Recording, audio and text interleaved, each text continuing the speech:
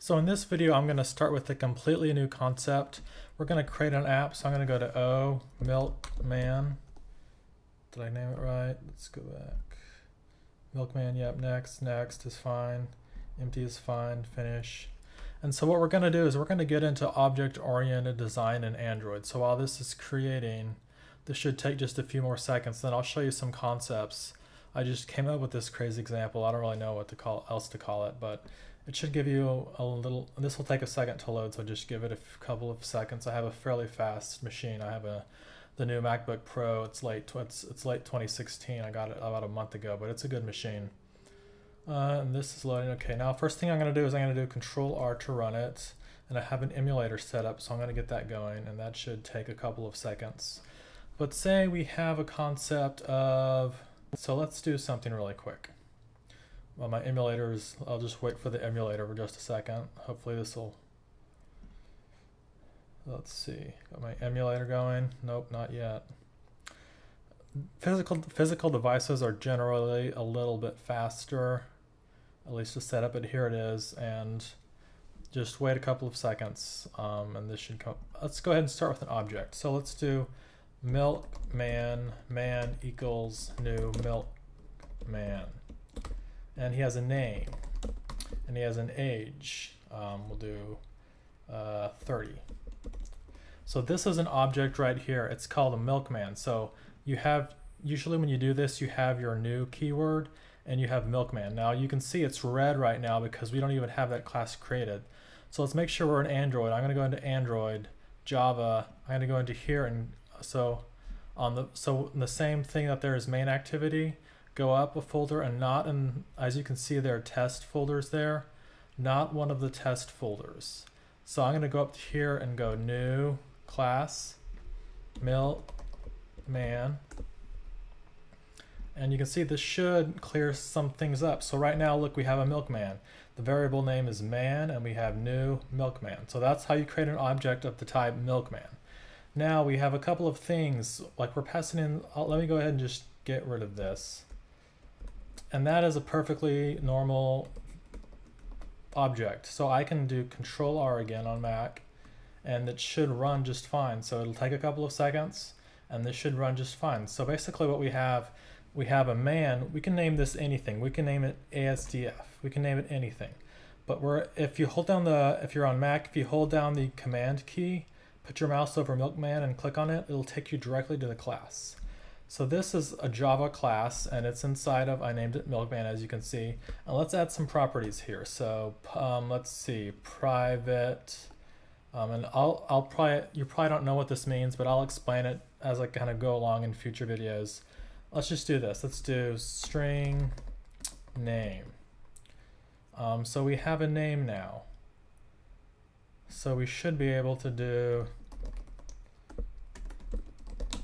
something like that. let's, let's name him uh, Daniel. Now this is kind of not a good practice, but this will work. So basically what we're saying, get the milkman, hold it in ASDF. Then let's call a property on it. So in ASDF, we have name. And if we go back to our milkman, you can see, yeah, we have a name there. But we can go one step further. We can do string, we can do int age. So we have an age now. So now let's go back here and let's do asdf.age. And you can see it's automatically auto selecting that for us. So we'll do um, 25 or however old he is. Let's say I'm the milkman. I'm 24, about to turn 25. So we'll just do me. I'm the milkman. So this is an object. All of this is an object. These um, these variables are they're working just fine. So if we wanted to log out, so say we want to do log d, and I'll get to this later, but just type log d, enter a couple of times, plus asdf.name. Then we add, need to add log t, just type log t at the type right, right below there. And there we go. So let's go ahead and save it and run it and see what happens. And we'll look in the Android monitor to monitor things. Did it run?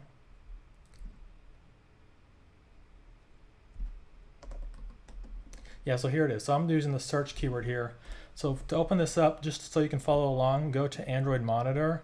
Then you can search for, oh, make sure you're on that one. And you can type in, what do we call it? on create. So on create. So there it is on create Daniel. So we're see we're accessing that. So we basically what we need to do is just make sure we have a new variable and let's I'm going to name that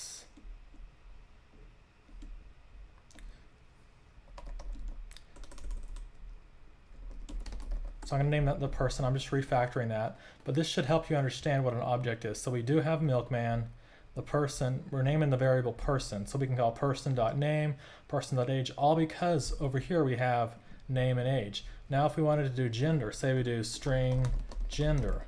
Well, now we have access to that. So let's go back to here. Let's do the person, because remember, that's what we instantiated with. We named it the person dot gender, and we have it selected there because we just created the variable right there. So this is the basics. Hopefully this is making sense. Uh, we name that a string. Yeah, so string, so I'll do male. So that's me. And we can do the same thing down here. I'm gonna do another line with Command D and we'll do age. Another one, gender. So I'm gonna run this application with Control R and as soon as this shows up, it should log cat, it should output to the debugger here and here we go, age 24 male. So this is all working. This is an object. So uh, hopefully this is making sense, but let's do something else. Let's get rid of all of that. And let's do something.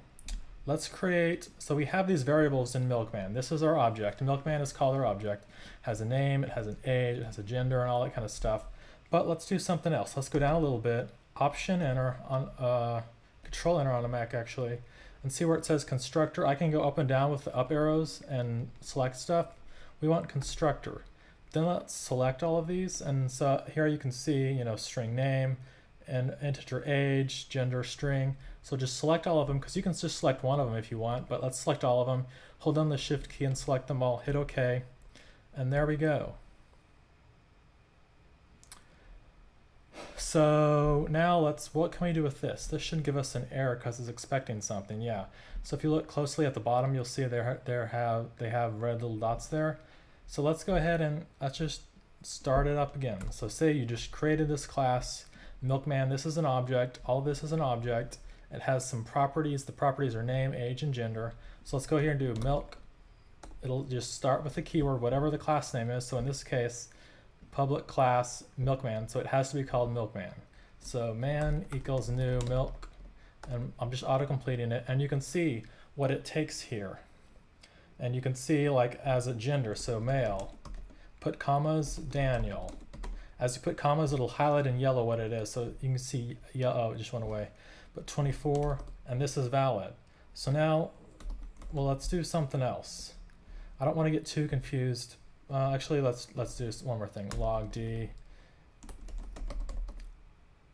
Let's do dot name. Let's name it something else. Let's name it uh, Bob. It's gonna do melody. I'll just do Bob. So we have. So we should have. So this is creating a new object of type milkman with male, Bob, and 24. And if we go look at it here, you can see yeah, it's taken in the milkman. It's it's called the constructor, and it's taken in gender it's taken in a string of name, and it's taken in an integer of h. So this should work. I'm going to save it and run it. And this should take a couple of seconds, and then it will run. So it closes, it opens back up in the emulator. Let's go in here, and there he is, Bob. So here's here's all the output. But if we limit it down to on create, you can see the name is Bob. So this is basic object-oriented design. So let's do something else. Let's get rid of, let's do something else. Let's just get rid of everything and start over just so we have, just so we have a good grasp on it. So we created a class milkman. Let's do something else. Let's do private m name. Uh, uh no, we got to do string private string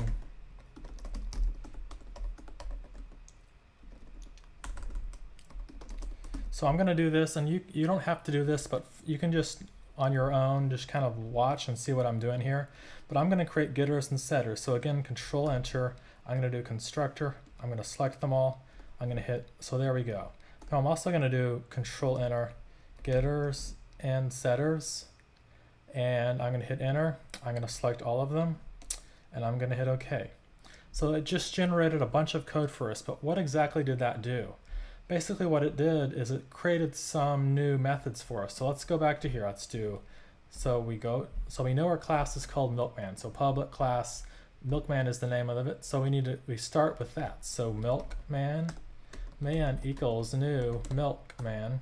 And wait a second, it'll tell us what it wants and what's the name. So Bob, male, uh, 24. So there's your new milkman. But let's do something else. Let's do log d, type log d and enter it in. So let's do one more thing. Let's put our mouse over here and let's do man dot and look what we have. We have get gender, get name, get age. So these are called getters and setters. So what we're doing is we're going in, it's going inside of Milkman. It's saying, hey, find me something called get, oh, I need to, I need to set something up. But basically it says um, get name and it's returning the name. The name is the same thing as it is right here. This is probably kind of confusing, but I'm trying to make it as simple as possible. So instead of actually accessing the, the um, so instead of accessing like what we do, you know, man dot m, see we don't even, we can't even, we can't even do dot name anymore because we'd have to make that public. So private is generally better and now m name, see now we have access to name, but we have it private. So if because it's private, we can't access it. It kind of hides behind it. So man dot get m name, and this should output the name. So I'm going to run it in the emulator. Wait for a second for it to load in the emulator. And I'm going to open up this and on create and see there there it is. Bob. So this is a little crash course on what objects is. And normally I'd have something set up where I'd get rid of the m, so it'd just be get name, set name. Yes, we have setters also. So here we can do something else. Let's get rid of, let's do this. Let's get rid of the constructor. So now we just have the get name and set name. Get gender, set gender, get age, set age. So we have just those. We can take away this. And so we have, this is perfectly valid. Then to set it, what we do our, our variable is named man right now. So we'll do this. So we'll do man dot, and then you can see we can get name or we can set it. So let's do, let's do set name. Then the same thing, man dot set, what else should we do? Age, 24. Man dot set and gender. So the, this is our milkman object and we're just get we're just I'm trying to make this as least little confusing as possible. I'm just trying to make this a simple a simple little example so you can follow along. I know I know it took me a long time to get the concept of this. It took me a while to just try to figure out, you know, what is an object and how does it all work. But our man is an object right now. It's a milkman. We can set it and we can also do so we can log man.get. So just like we have set there, and set there and set there we can do git. yeah let's do git name. Save it run it. I'm going to clear the logcat really quick.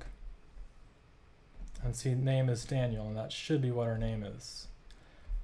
And yeah we set the name as Daniel. So instead what we're doing is we're going into our milkman class and we're saying hey we need to set name. So it's taking a string as a parameter and then it's saying set this dot name, which is the same thing as this right here, and set it as m name.